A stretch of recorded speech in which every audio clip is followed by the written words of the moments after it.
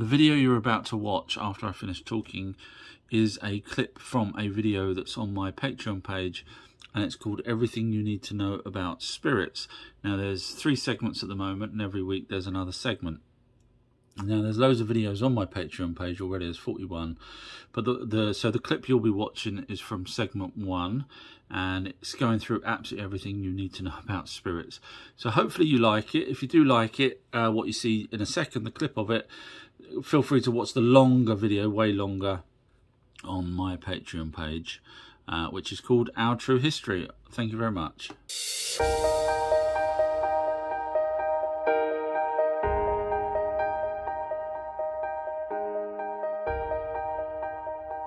Was there really a Big Bang, and what's that got to do with spirits? It's when spirits first started. Stephen Hawking suggested that if the universe is expanding, then if we rewind it, we would see it go back to a single point of time. Now, is that the only reference we have to the Big Bang? Actually, the Emerald Tablets of Thoth talk about the Big Bang. Thoth was a god in ancient Egyptian times. The text for the Emerald Tablets first appeared in a number of early medieval Arabic sources, the oldest of which dates to the late 8th or 9th century.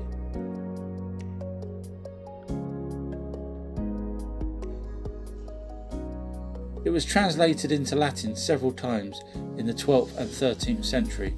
Numerous interpretation and commentaries followed. There were 10 tablets which were divided into 13 parts. The last two are so great and far reaching in their importance that at present it is forbidden to release them to the world at large, so it's claimed. Because of these translations by different people over centuries, we can say with some degree of certainty that the translations copied something. Sadly, the original tablets have been lost or hid away from view. This is the text about the start of the universe from the Emerald Tablets. In the beginning, there was void and nothingness, a timeless, spaceless nothingness, and into nothingness came a thought, purposeful, all pervading, and it filled the void.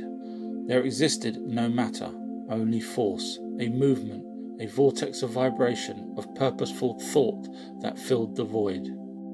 Although the creation of the universe in the tablets come from a thought, it's the only thing we have to go on. And it actually makes sense because everything in the physical world has a top, bottom, and two sides, yet the universe may not.